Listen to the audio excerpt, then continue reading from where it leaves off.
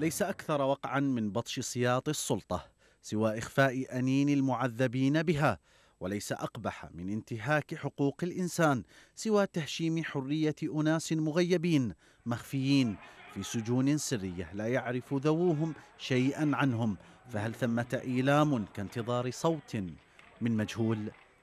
تحرم سجون العراق على الحقوقيين الباحثين عن كلمة يتفوه بها سجين خلسة لتسرد مكابدته وزملائه من القهر والظلم خلف القضبان.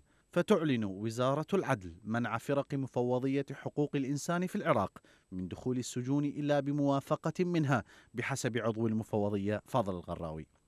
الغراوي اتهم وزارة العدل بإخفاء الانتهاكات التي تحصل ضد المعتقلين في سجونها مستشهدا بشكاوى ومناشدات من ذوي النزلاء في سجن التاج المركزي عن انتهاكات يتعرضون لها خلف أسوار السجن الذي يحوي الآلاف. مصادر حقوقية أكدت لصحيفة العرب الجديد أن سجون العراق تضم آلاف السجناء ممن لم يعرضوا على القضاء ولا يعرفون حتى جرمهم وعلى الأغلب اعتقلوا بسبب تشابه الأسماء أو لأسباب طائفية.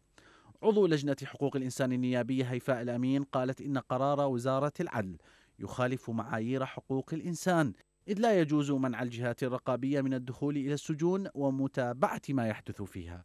متحدثة عن منعها شخصيا من زيارة سجن الناصرية لإخفاء ما يحدث هناك.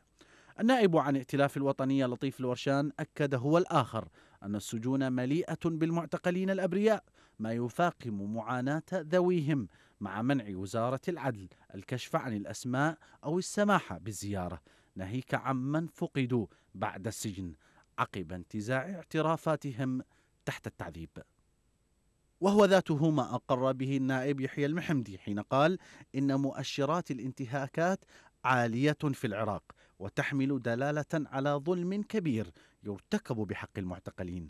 وبحسب الوقائع يكون وصف المسالخ البشرية هو الأقرب للسجون في العراق وفقا لقصص الرعب في تقارير المنظمات الحقوقية وشهادات الناجين من زنازين الموت.